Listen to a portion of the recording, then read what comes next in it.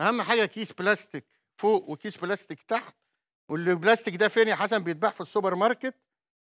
وأهم حاجة زي ما أنت شايفة بعد ما قعدت ساعة في التلاجة سمغت واعمليها كويرات كلها متساوية عشان تكبسيها بالمكبس بتاعك تطلع مظبوطة. يا جمالك يا حسني يا تفاصيلك.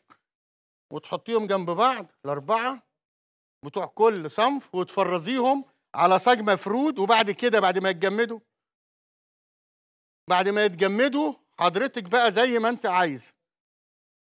تعملي فراخ تعملي لحمة تعملي سمك تعملي جمبري تعملي تونة تعملي بطاطس تعملي خضار مشكل تعملي مشروم لوحده بنفس التكنيك وبنفس الحركات والتكات.